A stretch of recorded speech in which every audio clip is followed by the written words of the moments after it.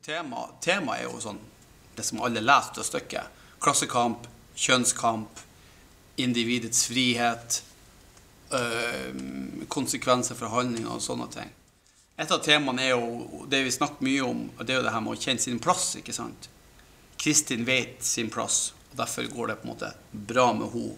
Frøken Gelie, pga. sin bakgrunn, vet ikke det så godt. og Jean går også frem og tilbake her, og de blir på en måte da straffa på et eller annet vis.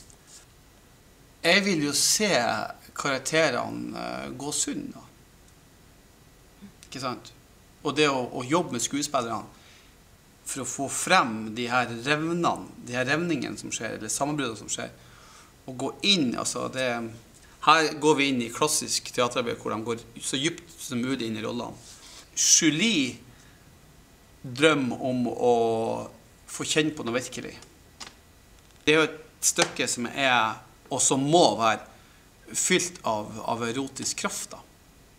Eh, Jean og, og Julie er veldig tiltrukket av hverandre på et eller annet plan.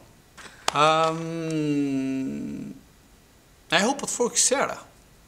Det er jo et stykke som er, er et av de beste stykkene som noen gang er skrevet.